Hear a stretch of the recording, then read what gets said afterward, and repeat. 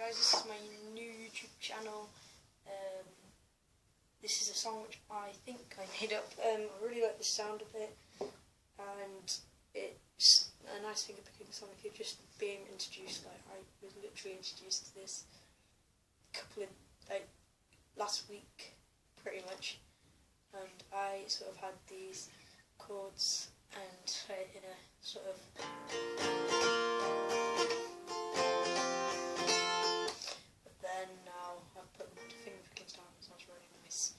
So, without further ado, here's a small clip of it.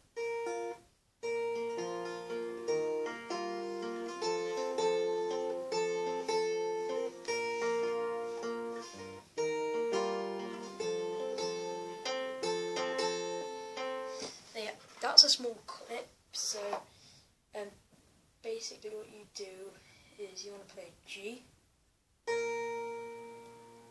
and you want you'll hold this for a couple of notes. Uh, it's actually like four beats. Let's call it. So you go.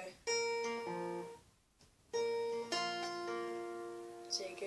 So you want to do the sixth, uh, the low E string and the high E string together. And I would recommend using your thumb and your middle finger like this, and then just go at the same time. Then you want to go to your first finger and plug the third string which will be open like so. Then you want to play the third and fourth string. Then the E string once again. Not the E string sorry the so it goes. And basically the next chord is G. It's called a G7 it's where you move your so you're in a G you go to the next string, so now you're on the fifth and fourth string, like this. So, so you were there, sixth and fifth, now you're on the fifth and fourth. It's practically the same shape, just move down the string. So um, then you want to do the same pattern, apart from your thumb is now on the fifth string, like this. Like that. So this is quite nice. So if you so this one it sounds like relatively like at the speed which you're playing once you get the hang of the song. Whoops.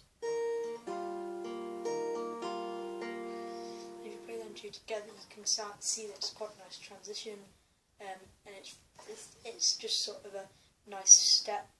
And then the next is a bit of a leap, but it's, they're all simple chords, so this is why it's like nice to introduce you to sort of finger picking. So it's G.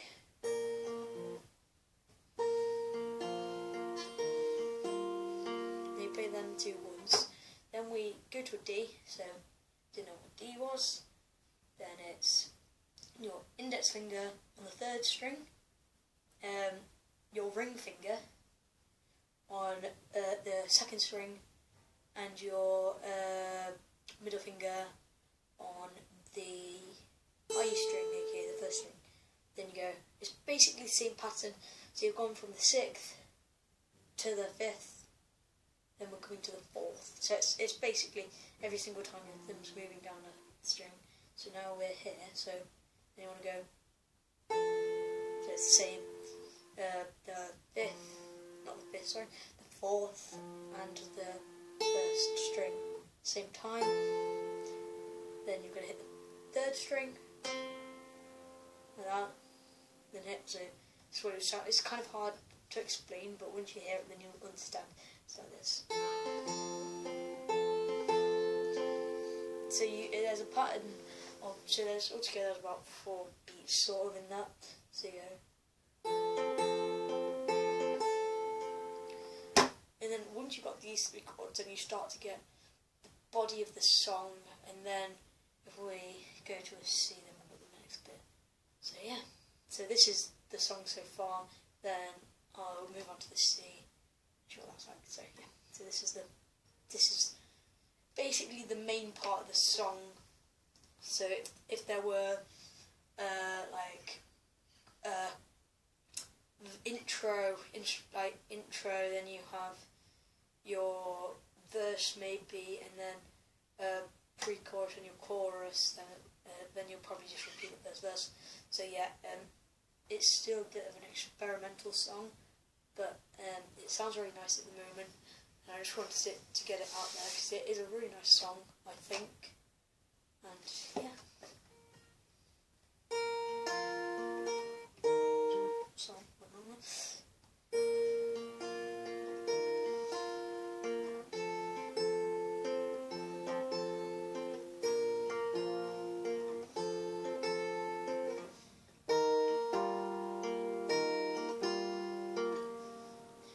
That's where we are. So we go from the G to the D to the G7. You can go back to the G. That sounds pretty nice. So I'll, I won't go through the whole song just for time timing. So yeah. Otherwise you can go. So if you go like this, so you want to go.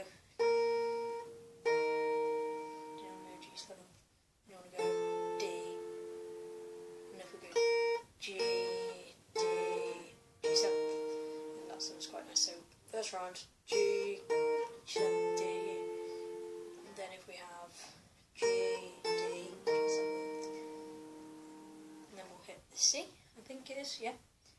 Then you want to, it's the same G string, so, so we'll go from a G to a C, so it's nice, it's, it's sort of going into the more minor section of the song right now. So yeah,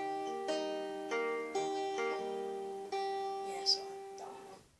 But yeah, so as, as you can see, we're G, G7, uh, the D, G, the D, G7.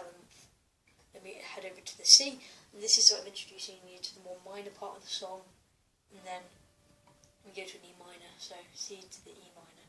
It's a bit. It's not really that hard. Just sort of bring up your first finger and take off your third. So if we hit the C again, so it's you want to hit your fifth string and your high E string, which is your first. So like that.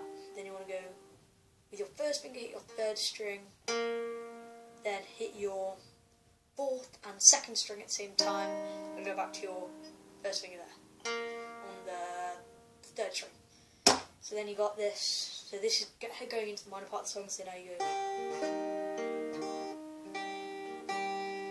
Then you go to an E minor, which is it's the same plucking pattern.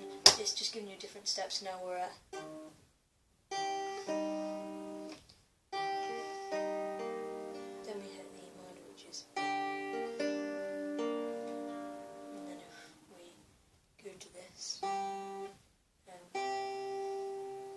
It's, it's just an open. You can play this to open. And that sounds quite nice. So if we run through what, this is sort of what I've come up with, but I'm going to sort of extend the video at a later date because at the moment it's sort of an experimental song and I'm probably going to have to cut this down because it's probably run over time. But anyway, so let's go. This is going to be the song uh, all the way through to what I've taught you so far because it's still in the making obviously it's not totally done yet, but it does sound um, really nice and I just wanted to get it out there.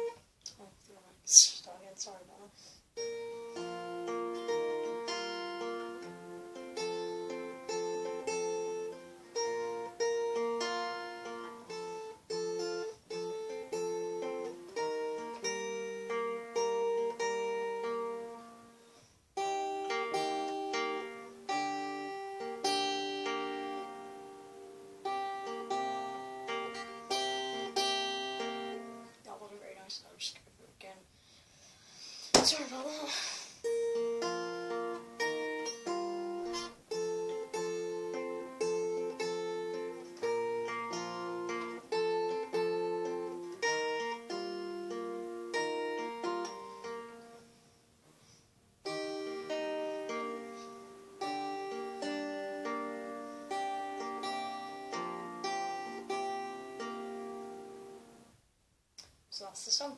Um, it's it's still experimental, but it's nice. Um, I've also got a song in the production. It's got some lyrics to it, but when I do the video, I'm not going to do the lyrics, and I'll explain what I um when I bring out that video. And I've also got a little riff. Um, this sounds better on my electric, but Um, just for the sake of time, I'll just do this here.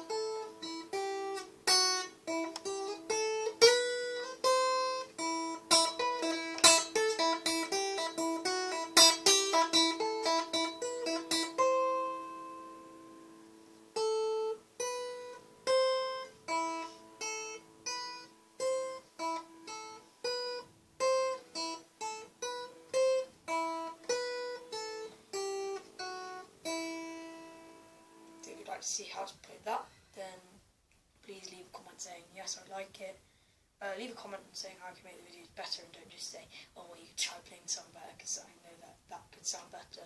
Just I really wanted to get it out there. So, like if you want that riff, please do comment because I want to see how I can improve. Like, comment what songs you want because I'll learn them and yeah. So that's it. Thank you for watching.